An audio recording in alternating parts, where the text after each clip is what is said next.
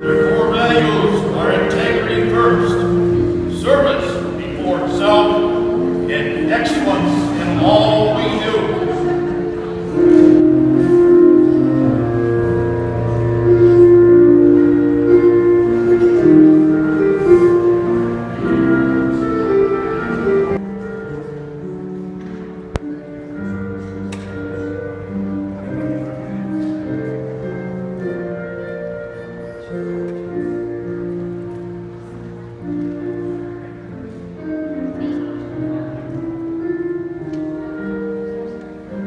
Author is Rick Warren.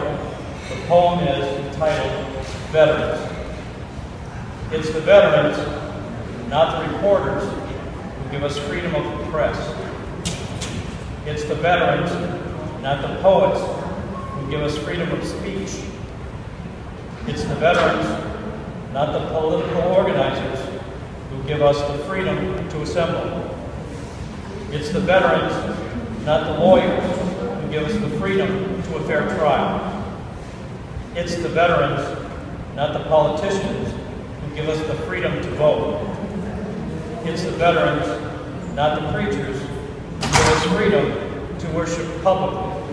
So on behalf of the grateful nation, I say, thank you.